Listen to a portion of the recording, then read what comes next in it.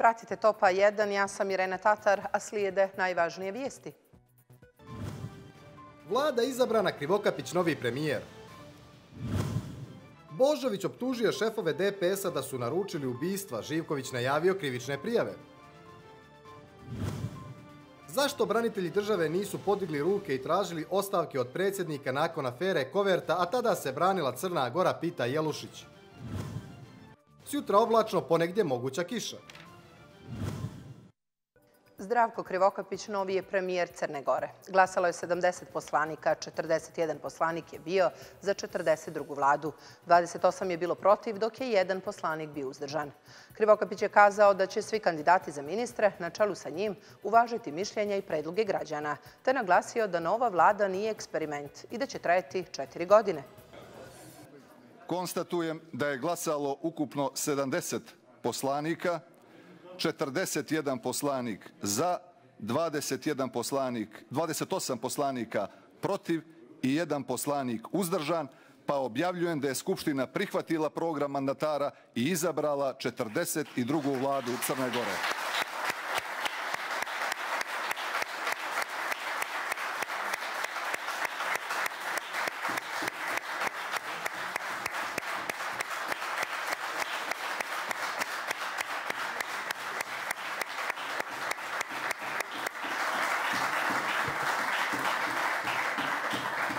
Čestitam predsjedniku i članovima vlade.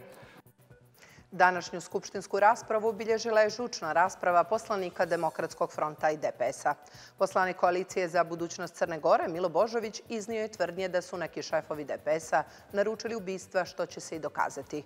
On je istakao da posebno podržava Vesnu Bratić i očekuje od nje da vrati bukvar da se zna odakle djeca uče slova, da vrati Šantića, Desanku Maksimović, Zmaja, Njegoša. Biće vam jasno što će se raditi. Prvo što će se raditi, to sam siguran, to je pravda. Pravda za sve. Pravda za unižene, za poražene, za pokradene i pravda, Boga mi, za one koji su ubijeni. Pošto ova grupa poslanika ima svoje kolege u zadnjih 20 godina koji nisu sad, koji su pobijeni, a vaši šefovi su platili i poslali ubice. I to će se dokazati. O, o, to će se dokazati. Poslanik DPS-a Daniel Živković reagovao je na izlaganje Božovića koji je rekao da su njihovi šefovi naručili ubistva. Etiketiraju se ljudi. Ušli smo u praksu saopštavanja različitih kvalifikacija bez ikakve argumentacije. Imate mogućnost da sva vaša saznanja o nama ili o ljudima iz DPS-a saopštite nadležnim organima, rekao je Živković. Vi imate mogućnost da sva vaša saznanja koja imate o nama ili o ljudima iz Demokratske partije socijalista saopštite nadležnim državnim organima. Saopštiti kvalifikaciju da su šefovi nas ovdje koji sjedimo naručili ubistva određenih ljudi je toliko teška da zaslužuje krivičnu prijavu. Makar sa naše strane, sa naše strane, ukoliko tu, ukoliko tu konstataciju ne budete u mogućnosti da dokažete. Poslanica Crno na bijelo Božena Jelušić saopštila je tokom skupštinske rasprave da su se u parlamentu ruke podizale za najštetnije odluke za ovu zemlju. Za Možuru, zakon o prostornom planiranju, ali ne i za aferu Koverta. Govoreći o lustraciji, rekla je da prvo moraju biti lustrirani ratni zločini, a odgovorni su na obje strane. Zašto ti branitelji nisu podigli ruke i nisu tražili ostavku od svog predsjednika i od svog premijera, barem nakon afere Koverta. Barem tada. I da kažu predsjednišće, premijeru, vratite nam zemlji institucionalni i društveno-politički poredak. Pa tada se branila Crna Gora. Poslanik iz redova Demokratskog fronta Predrag Bulatović pozvao je Zdravka Krivokapića da se okrenu jedni drugima, da zajedno rade. On je tražio i da Krivokapić iznese stav o Milivoju Katniću i specijalnom tužilaštvu. Buletović je naglasio da predsjednika Crne Gore Mila Đukanovića ne smatra uvažanim i da je pitanje kohabitacije sa njim upitan za DF. A parlamentarna istriga prema kriminalu koju, e, koju je naznačio Duško Knežević, e, Mans, Branko Radulović, pokret za promjene i mnogi drugi. Prave se ovdje ludi. Kaže predsjednik Đukanović, mirno stoji vezano za zakon o porijeklu imovine. Ne, vi možete vrlo brzo da inicirate preko policije istrage za kriminalne radnje i za pljačku Crne Gore. Odlazeći premijer Duško Marković kazao je gostujući u jutarnjem programu televizije Crne Gore da je mandat njegove vlade protekao u znaku snažnih ataka na crnogorski identitet, njenu nezavisnost i građanski karakter. Marković smatra da je usvajanje zakona o slobodi vjeroispovijesti jedan od najvažnijih razloga zbog kojeg su izgubili izbore, ali ne zbog činjenice što zakon nije potreban ili dobar. Na pitanje da li ostaje poslanik u parlamentu, Marković je pozitivno odgovorio. Ovaj, dakle, ja ću biti u parlamentu eh, do kongresa, sasvim sigurno. Eh, eh, uh, učestvovat ću u radu parlamenta. Jedva čekam priliku da se na premijerskom satu i poslaničkim pitanjima suočim sa novim ministrima i novim premijerom, posebno u odnosu na njihove ocjene o sprženoj, o sprženoj ovaj zemlji. A zavisno od odluke, odluke kongresa zavisit će i ovaj, moj Eh, moj odnos prema politici i naravno prema, prema mojoj poziciji u parlamentu. Što bi rekao predsjednik Đukanović o tom potom.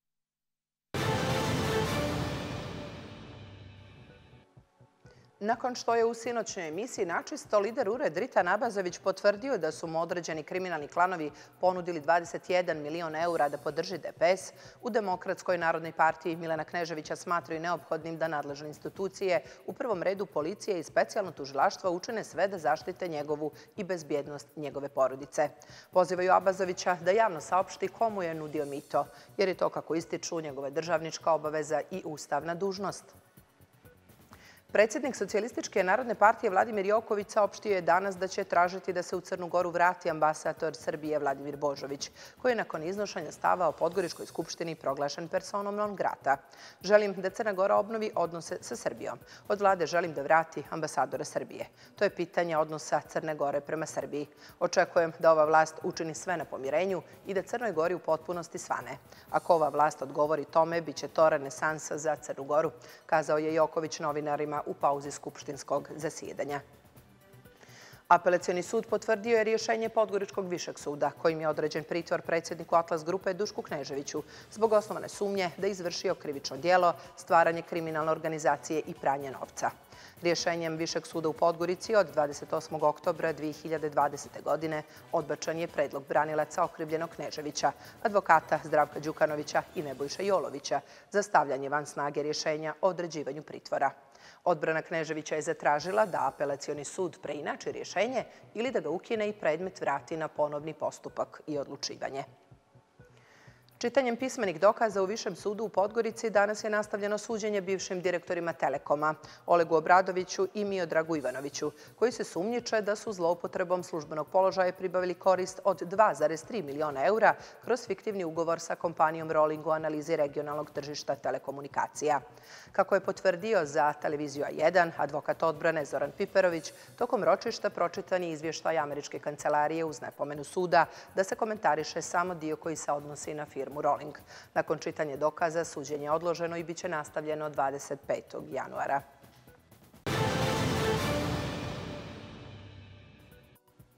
Laboratorije Instituta za javno zdravlje, druge javne i privatne laboratorije koji se bave diagnostikom infekcije novog koronavirusa, od posljednjeg presjeka završali su analizu institutu dostavile rezultate za 1845 uzoraka na novi koronavirus, među kojima je ukupno registrovano 535 novih slučajeva infekcije. Od jučerašnjeg presjeka institutu je prijavljeno šest smrtnih ishoda povezanih sa COVID-19. Do 17 časova prijavljen je i oporavak od 540 28 pacijenta. Uzimajući u obzir sve novo otkrivene slučajeve, kao i broj oporavljenih, ukupan broj trenutno aktivnih slučajeva COVID-19 u Crnoj Gori iznosi 10.531. U eksploziji na parkingu radio televizije Srbije jedna osoba je poginula, a dvije su povrijeđene, od kojih jedna teže, prenose mediji u Srbiji. Prema svjedočenju očevidaca, navodno su eksplodirale tri boce za varenje sa obližnjeg gradilišta. Radnici sa pomenutog gradilišta kažu da je od ciline eksplozije oštećeni prvi sprat objekta na kojem su radili. Koronavirus i dalje najenjava u Sjedinjenim američkim državama. Ova država bilježi nagli rast broja novozaraženih koronavirusom, a brojevi hospitalizovanih osoba i smrtnih slučajeva od COVID-19 obaraju rekorde. U Kaliforniji je stanje najteže, pa su vlasti odlučile da uvedu lockdown, odnosno obavezno ostajanje kod kuće. Očekuje nas promjenjivo oblačno vrijeme, ponegdje sa slabom kišom, uglavnom u južnim i zapadnim predjelima. Na sjeveru tokom jutra po kotlinama magla. Vjetar umiran do jak južnih smjerova. Jutar je temperatura od 3 do 14, najviša dnevna od 7 do 19 stepeni. Hvala na povjerenju. U ime ekipe gledali ste Topa 1. Laku noć.